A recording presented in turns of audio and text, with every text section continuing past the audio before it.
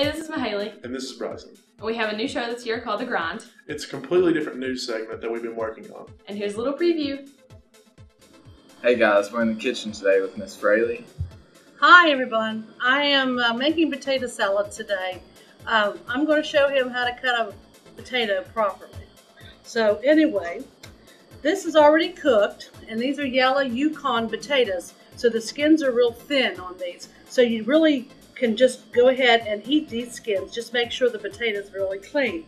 You cut it in two and this is kind of a dice look. You take your knife and you cut it in two here and then you go through and you cut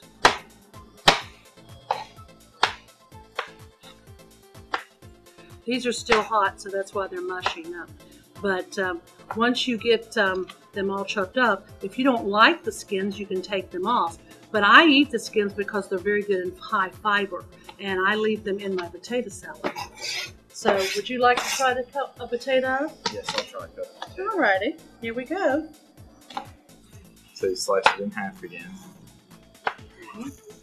Stay that way with it. Never come back towards the knife. So go forward. Yeah, always forward. Never go towards you. And put it into the potato salad. Mm-hmm. Now you keep doing it. You have it. Keep going. Now these are good Yukon potatoes, and you don't always get these uh, year round. But right now they're really plentiful, and that's why potato salad is extremely good. Uh, these Yukon potatoes were at Save a Lot this week for $1.98, and so I went ahead and bought some. And the kids all like potato salad, so that's why we're going ahead and make it. He's got this down pat now, doesn't he? Isn't this great? Yeah, keep going, Cameron. We'll have the potatoes done here in a couple minutes.